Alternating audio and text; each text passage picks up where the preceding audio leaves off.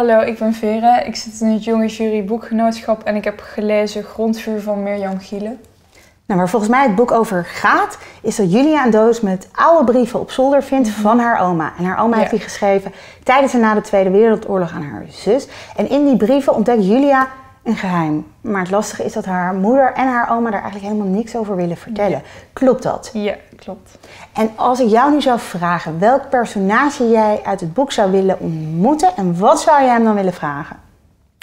Ehm, ik zou het liefst de moeder van Julia willen ontmoeten, omdat zij eh, een eh, hele andere mening heeft dan eh, de oma. Eh, terwijl dat haar moeder is. En dat lijkt me gewoon heel moeilijk om, om zo erg van mening te verschillen.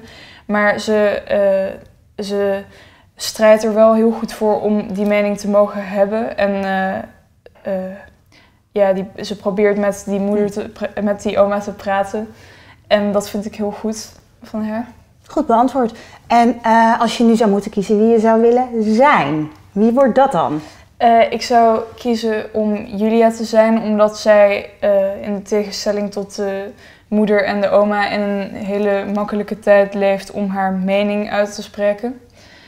Eh, en gewoon te doen wat ze wil doen.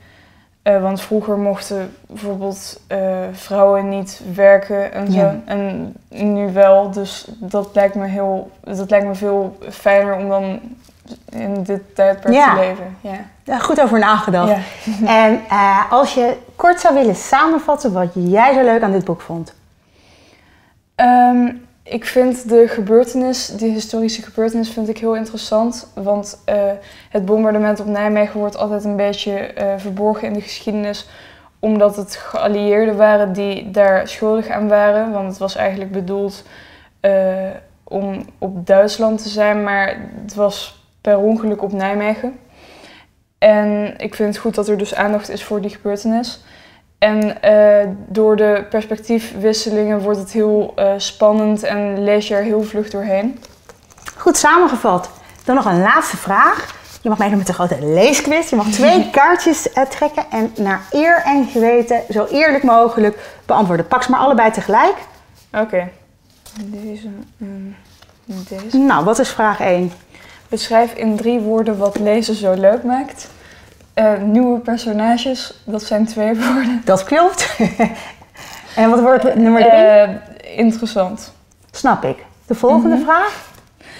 Eh, wat neem je mee naar een onbewoond eiland als boek?